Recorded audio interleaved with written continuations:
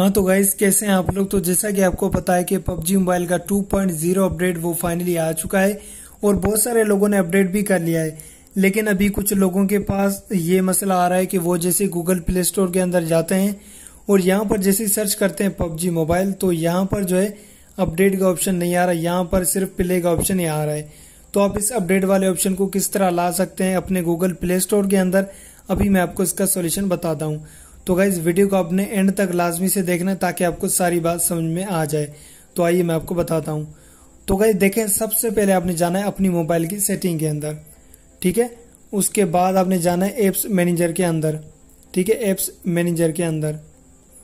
उसके बाद यहाँ से आपने गूगल प्ले स्टोर को ढूंढ लेना है।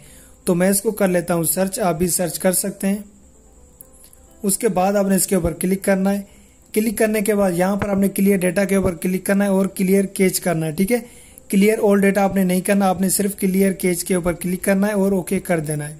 बस, उसके बाद आपने जो है जाना है गूगल प्ले स्टोर के अंदर, ठीक है गाइज़ गूगल प्ले स्टोर के अंदर आने के बाद यहाँ से आपने जो है अकाउंट वाले ऑप्शन के ऊपर क्लिक करना है। और अगर आपके पास अभी कोई दूसरा अकाउंट भी अगर आपके पास साइन इन है तो उसको आपने यहाँ से सिलेक्ट करना है, ठीक है?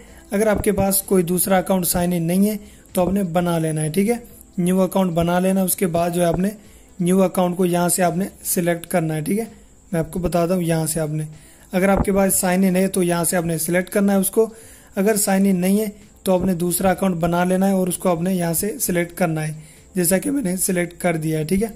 उसके बाद न्यू अकाउंट के ऊपर आप जैसे यहाँ पर सर्च करेंगे पबजी मोबाइल तो न्यू अकाउंट के अंदर जो है आपके पास ये अपडेट का ऑप्शन यहाँ पर शो होने लग जाएगा और आप जो अपनी गेम को इजीली अपडेट कर पाएँगे।